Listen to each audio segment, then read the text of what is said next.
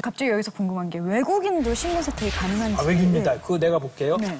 9년 동안 한국에서 사업한 몽골이 있는데 네. 19년 전 몽골에서 친구 살해하고 들어왔는데 나의 이름 속에 위조 여권으로 체코를 거쳐서 들어왔습니다. 오. 예, 예. 그리고 근데 이제 그 국내 거주 몽골인들 사이에서는 아주 유력가의 집안 아들로 알려진 행세를 하고. 예.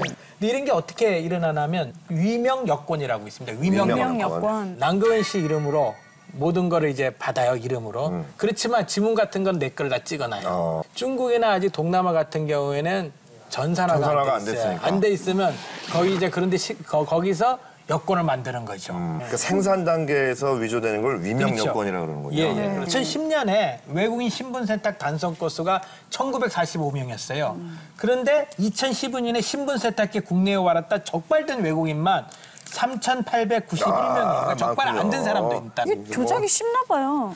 아, 뭐 어렵지만 같이 그, 발전하는 같이 거죠. 발전하는 네, 거죠. 기술이. 근데 이게 보이스피싱 같은 거. 그런 네, 거죠. 뭐. 그래서 우리나라가 그 2012년 12월부터는 모든 외국인을 대상으로 다시 지문과 얼굴 정보를 등록 확인하는 제도를 다시 시작했어요. 그러니까 모든 외국인은 우리나라에 들어올 때 그 지문을 날인을 찍어야 되는 돼요. 거죠. 어, 네. 얼굴 확인을 해야 되고. 네.